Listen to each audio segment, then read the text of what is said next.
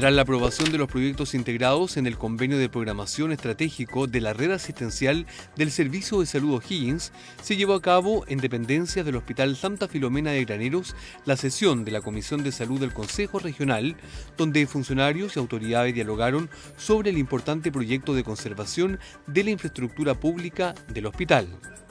La jornada fue encabezada por el presidente del Consejo Regional, Carla Morales, el presidente de la Comisión de Salud, Gerardo Contreras, el director del Servicio de Salud O'Higgins, Claudio Castillo, y el asesor de la Subsecretaría de Redes, Vladimir Román, contando además con la participación del alcalde de la comuna, Claudio Segovia, concejales, funcionarios y comunidad usuaria. Hoy día todos han unido un solo esfuerzo común. Ese esfuerzo común hoy día es la salud, y la salud hoy día se ve reflejado un esfuerzo permanente que ha tenido. El, Consejo hoy día ha reafirmado su, eh, su parecer y su primera intención, digamos, que fue apoyar el convenio de programación y en particular los planes de conservación, particularmente para el granero, y buscar principalmente eh, el adelantar, particularmente para el granero,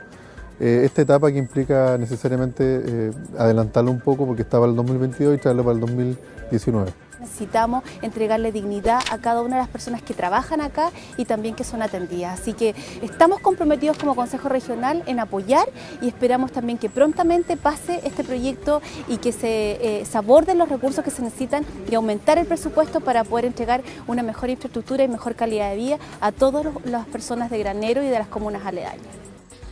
Cabe destacar que este proyecto de conservación del Hospital de Graneros nace bajo el alero del Servicio de Salud, el compromiso del intendente Juan Manuel Maferrer, el Ministerio de Salud y el Consejo Regional,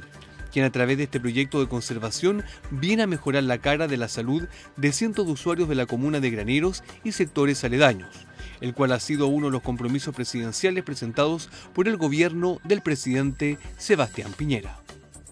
Estamos acá en el Hospital de Granero porque tenemos que darle eh, autonomía, tenemos que darle rapidez eh, a una atención y a un hospital que necesita urgente un, establecimiento nuevo. Y por eso hoy día andamos junto con todo el Consejo Regional eh, abordando este tema tan importante que es para la región. A mí me tiene orgulloso que se haya podido realizar esto, estamos ansiosos de que se puedan comenzar los trabajos y esperando con el mejor ánimo que podamos mejorar la salud de nuestro hospital.